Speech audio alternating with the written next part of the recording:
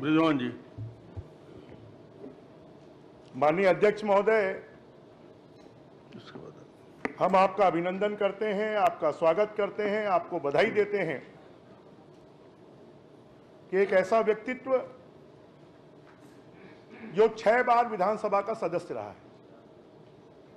ऐसा व्यक्तित्व जो तीन बार इस प्रदेश का मुख्यमंत्री रहा है। एक ऐसा व्यक्तित्व जिसके बारे में कहा जाता है कि वो सादगी, सरलता और विनम्रता की प्रतिमूर्ति है। और इस समय तो लगभग इस सदन में तीनों प्रमुख एक ही स्वभाव के हैं। विधानसभा अध्यक्ष जी, मुख्यमंत्री जी और नेता प्रतिपक्ष जी। लगभग तीनों का स्वभाव एक जैसा है। सरलता, विनम्रता, सादगी और मुझे लगता है तीनों के ये स्वभाव मिलकर, क्योंकि पूरे देश में छत्तीसगढ़ के सदन ने अपनी एक गरिमा बनाई। हमारे सदन में कभी बजट का गिलोटिन नहीं हुआ।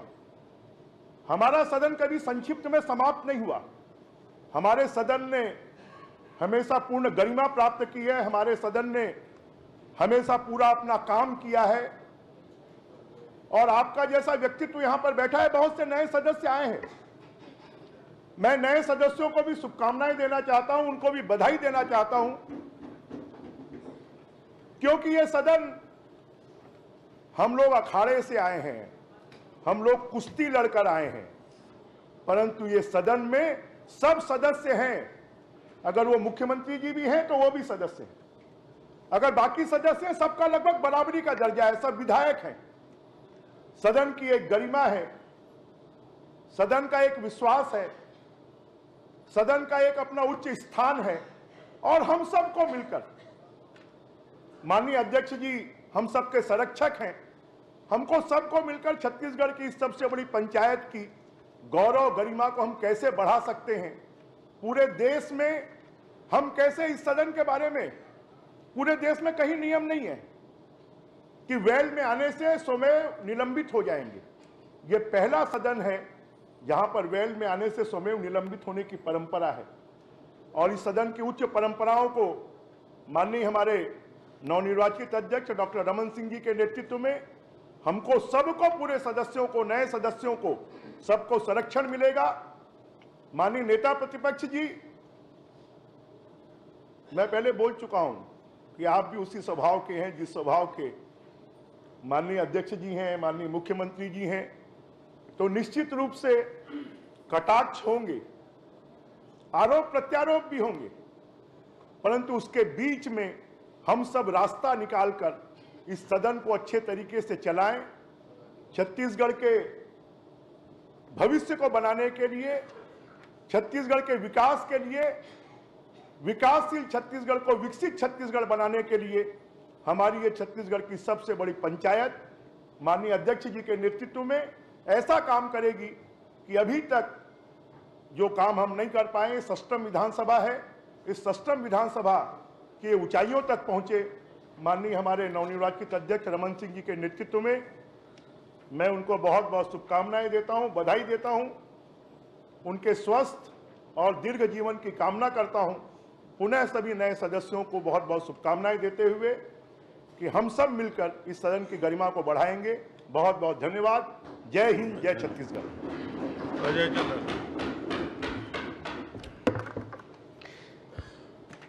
माननीय अध्यक्ष महोदय ये बहुत अद्भुत संयोग है।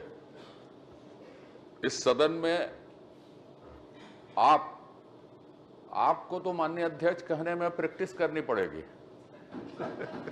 गौरी शंकर जी जब अध्यक्ष होते थे तो कई बार हम लोग गौरी भैया कह देते थे उसको।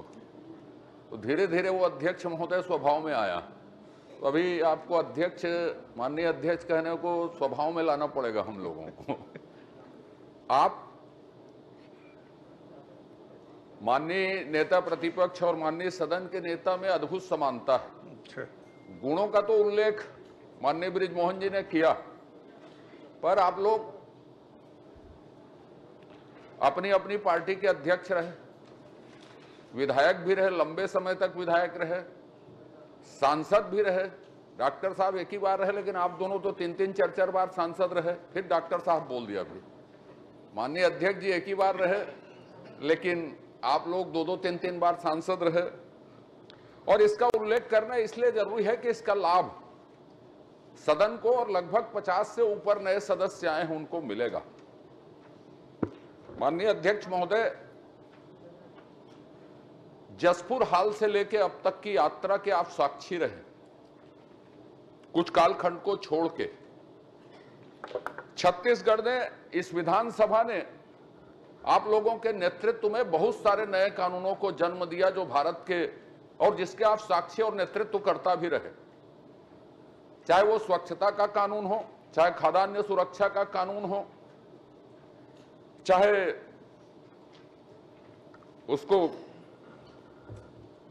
क्या बोले उसको इंक्रोचमेंट के खिलाफ कानून हो, बहुत सारे ऐसे कानून थे, स्किल हमारा अधिकार हो, ऐसे कानून।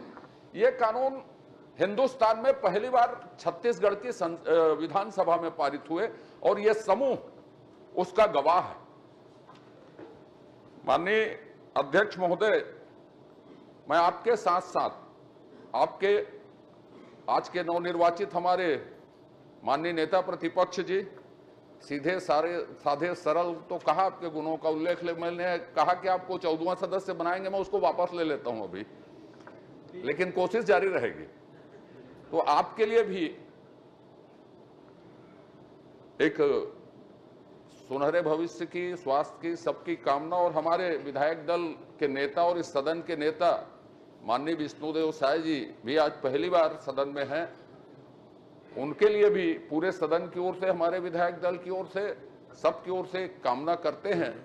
और इसकी महान परंपरा, कुछ परंपराओं का उल्लेख माननीय ब्रिजमोहन जी ने उल्लेख किया। गिलोटिन से लेके एक बार हमने कोरोना में गिलोटिन से पास किया है बजट को, उसको वास्तव में उदाहरण नहीं माना जाए, जाना चाहिए। ये एकमात्र विधानसभा है जो कोरम के अभाव में कभी स्थगित नहीं हुई है आज तक। ऐसे ऐसे बहुत सारे, बहुत सारी परंपराएँ हैं जो अपने आप में छोटी विधानसभाओं में पूरे देश में जानी जाती है। सचेतक के सम्मेलन में एक बार का उल्लेख कर देता हूँ मैं। मैंने अवगत कराया एक बार कि छत्तीसगढ़ विधानसभा की अधिकतम बैठक अंठावन दिन हुई है। उसकी अनुशंसा थी 45 से 50 दिन तक अधिकतम हो जाए छोटी विधानसभाओं का। तो छत्तीसगढ़ की अधिकतम बैठक अंठावन दिन हुई है। जब मैंने सचेतक सम्मेलन में अवगत करवाया पीठासीन अधिकारियों के सम्मेलन में तो वो आश्चर्यचकित थे कि आप क्या इतना छोटे से राज्य में इतना बिज़नेस है क्या? इतना कैसे कर लेते हैं? पर यह बात हमने बताई और यह भी बताया कि 24 घंटे लगातार बैठने का रिकॉर्ड है। कि हम सुबह से लेकर शाम तक और रविवार के दिन भी यह विधानसभा बैठी है, ये ऐसे रिकॉर्ड हैं जो कभी दूसरे विधानसभाओं में नहीं बने। तो माननीय अध्यक्ष महोदय, आपके नेतृत्व में छत्तीसगढ़ विधानसभा अपनी परंपराओं को और मज़बूत करेगी और हम ऐसे ही ऐतिहासिक कानून छत्तीसगढ़ की जनता के लिए, ऐतिहासिक अवसर और ऐतिहासिक सेवा छत्तीसगढ़ की जनता के लिए सदन, पवित्र सदन के माध्यम से कर पाएँगे। आपके प्रति बहुत सद्भावना व्यक्त करते हुए मैं अपनी बात समाप्त करता हूँ। माननीय भूपेश बघेल। माननीय अध्यक्ष महोदय सर्वसम्मति से विधानसभा के अध्यक्ष चुने पर आपको बधाई शुभकामनाएँ। बहुत ही लंबा राजनीतिक यात्रा आपकी रही।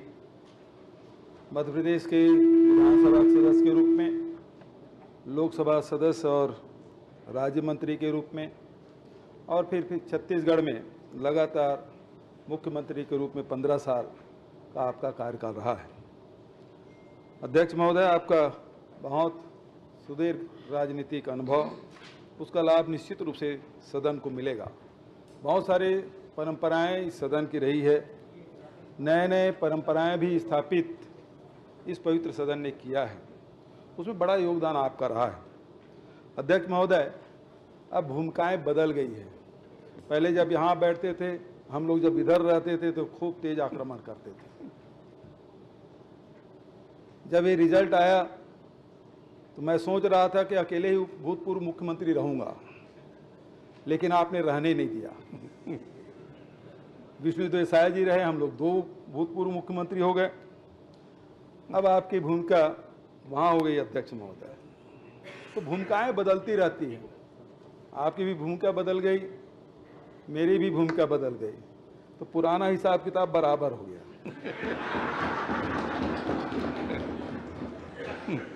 क्योंकि बराबर आप नहीं रखेंगे और आप वहाँ बैठे हैं और हमारे तरफ़ नजरी न्यायत नहीं होगी तो हम लोगों को तो बड़ा मुश्किल होगा। राजेंद्र प्रसाद शुक्ल जी भूपेश जी इधर उधर की बात ना कर ये बता कि कारवा क्यों लूटा? वो भी अभी बहुत समय है इसके बारे में चर्चा करेंगे। हम लोग सिर्फ़ पंद्रह थे आप तो पैंतीस के साथ हो। आप पंद्रह थे लेकिन हमारे अध्यक्ष जी भूतपूर्व अध्यक्ष जी हम लोगों से ज़्यादा समय आप लोगों को देते थे। वही याद दिला रहे हैं। हमारे नेताजी ने भी याद दिलाया और मैं भी याद दिला रहा हूँ। पंद्रह होने के बावजूद भी आपको हम लोगों से ज़्यादा समय मिलता था। और हमेशा शिकायत हम लोग करते थे अध्यक्ष जी कक्ष में जाकर कि पंद्रह होने के बाद चौदह होने के बाद तेरह होने के बाद भी इनको ज़्यादा समय देते हैं।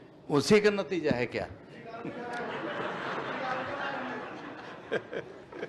अब हम लोग पैंतीस हैं कम नहीं है।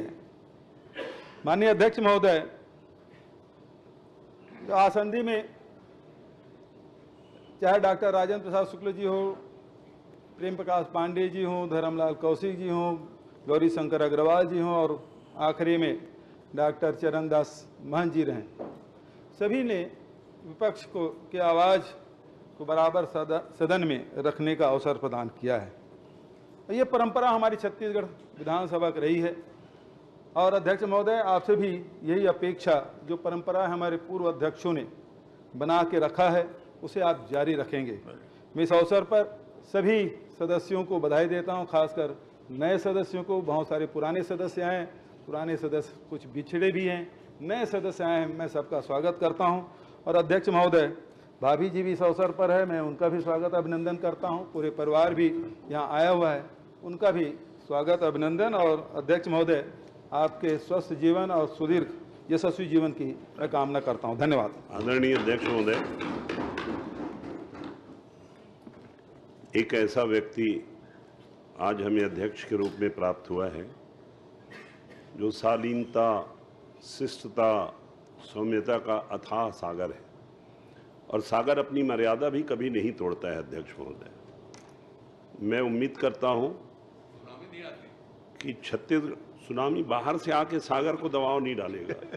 सागर तो शांत रहता है, लोगों के लिए आकर्षण का केंद्र रहता है। आपका लंबा राजनीतिक अनुभव है, अध्यक्ष महोदय। आप विधायक थे मध्य प्रदेश में। आप लोकसभा के सदस्य बने, अटल बिहारी वाजपेयी जी के मंत्रिमंडल में मंत्री बने। फिर ढाई साल बाद आपको इस्तीफा मांगा गया, आपने इस्तीफा दिया। आपको प्रदेश भेजा गया, आप प्रदेश अध्यक्ष बने भाजपा के। फिर आपने पंद्रह साल तक के इस प्रदेश की सेवा की। चावर वाले बाबा के रूप में आप पूरे जाने और पहचाने जाते हैं। फ़ूड के बारे में जो एक्ट आपने बनाया है, वो देश में एक नज़ीर और मिसाल भी बनी हुई है। अध्यक्ष महोदय, मेरा कहने का आशय सिर्फ़ ये है कि आप जिस भी पद पर बैठते हैं, उसे पूरी शालीनता से और पूरी गंभीरता से आप निभाते हैं। आप उस पद की शोभा बढ़ाते हैं। हमारे छत्तीसगढ़ की विधानसभा का ये सौभाग्य है कि यहाँ के और भी आपके पहले जितने माननीय अध्यक्ष रहे हों, चरणदास जी से लेकर के राजेंद्र प्रसाद शुक्ल तक, उन सभी ने अपने दायित्वों का बखूबी निर्वहन किया। छत्तीसगढ़ की विधानसभा में कभी भी इतनी ज़्यादा दूरी तक के बहस मुबासा का माहौल नहीं बना, जिसमें कटुता और गंदगी हो। आपको तो माननीय अध्यक्ष महोदय मुख्यमंत्री के रूप में सदन में आप विपक्ष का जवाब देते रहे। और जब आप विपक्ष में भी बैठ करके